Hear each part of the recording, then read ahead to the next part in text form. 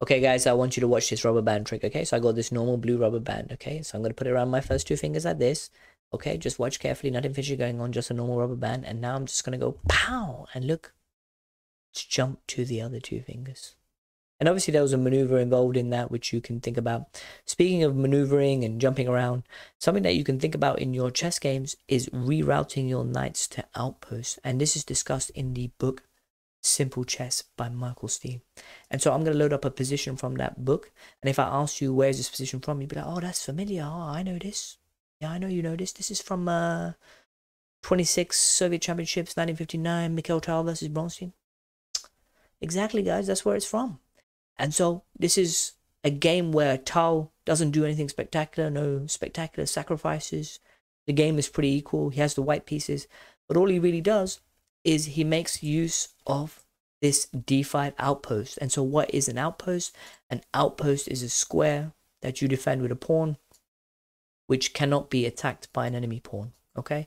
And so f5 here really isn't an outpost because your opponent can play this move g6.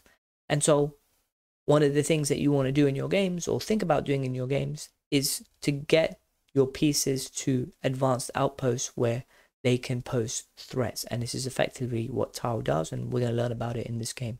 And so, in this position, I want you to tell me what move Tal comes up with. And this, by the way, has been reached seven times in the Lichess database with everyday players like me and you. And each time, the player came up with what Tal came up with. And so, what on if you worked it out? Of course, Tal plays this move knight to f1, and the idea being that he is going to reroute this knight to e3 and then try to put a knight on d5. So you might be like outpost schmalpost, who cares about this? If that knight goes to d5, I'm just going to remove it with my own knight.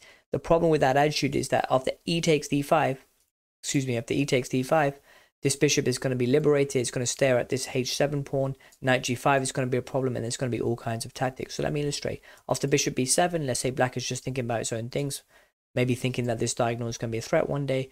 We have knight to e3, rook on a to d8. The queen doesn't even need to move. We have knight to d5. This queen is hanging here. So let's say you have knight takes d5, e takes d5. And okay, this knight on c6 doesn't need to move because the rook is eyeing up the white queen. However, black has other problems. For example, this e5 pawn is hanging. Knight g5 could be a problem attacking this h7 square. And so you can study this on your own, but something like f6 is a huge blunder. So let's say you play some move like bishop f6. Okay, this dark square bishop plays a role of a big pawn for the time being. Then in this position, white can just go ahead and play knight g5 anyway, attacking this h7 square. If you take, then this bishop is then going to attack this rook here on d8, which is going to be awkward because that rook is needed to apply a pin here on this pawn. And so in this position, maybe what many players in this position would do is just play a move like h6, try to remove the knight. But now you have, say, queen d3, threatening mate in one. Let's say you have g6, and now you want to pause the video, work out a spectacular move that white can play. Well done if you did. Is of course knight takes f7. You do your tactics puzzle the whole time. Rook takes f7, queen takes g6 check. And in this position, if the king moves here, we have bishop takes h6 check. If the king moves here, we're just going to pick up the rook. And so the only thing that black can do is play bishop to g7 and, well, white is in a completely winning position.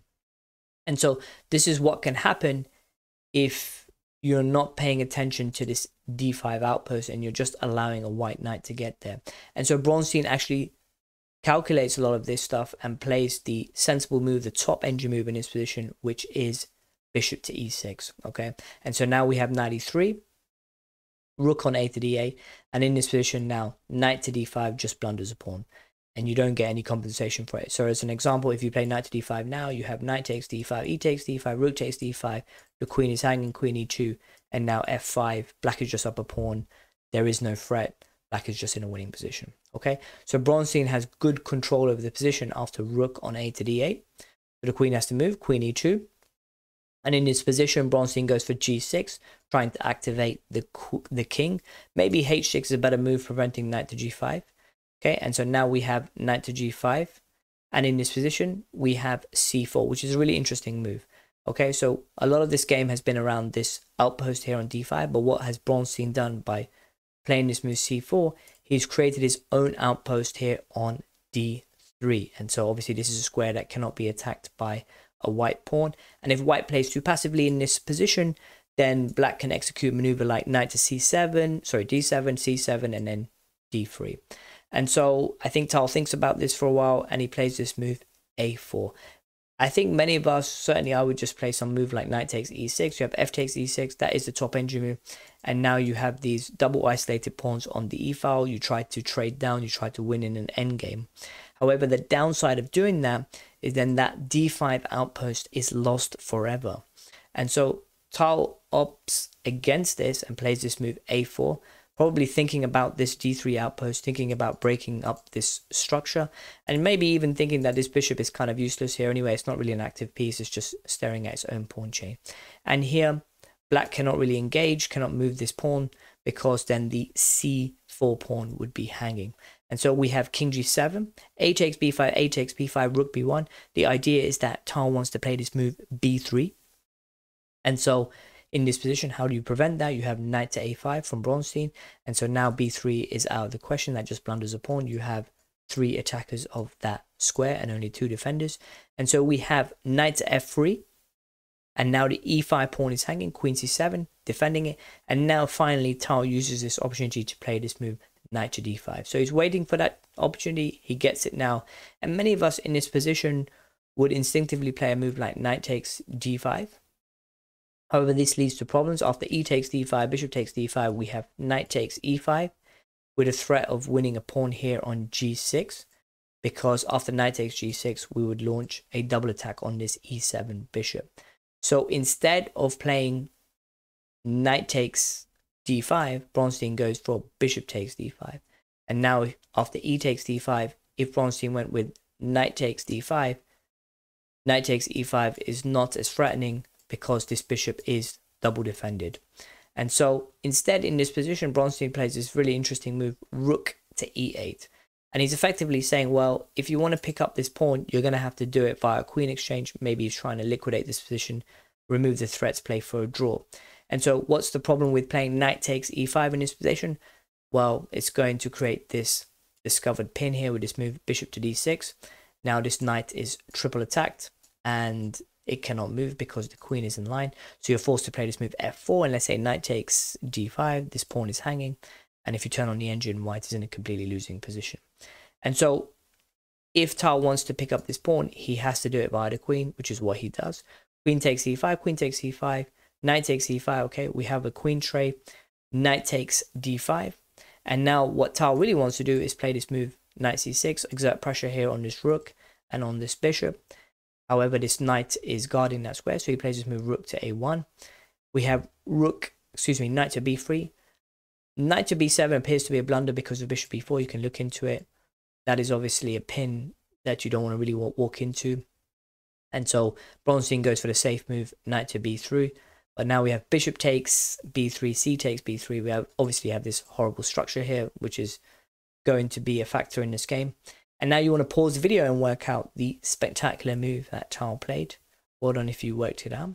It is the move bishop to h6 check. And in this position, if Bronstein decides to take this bishop on h6, we have knight takes f7 check, the king retreats, knight takes d8, and now rook takes d8 is forced, you can't play bishop takes because the rook is hanging.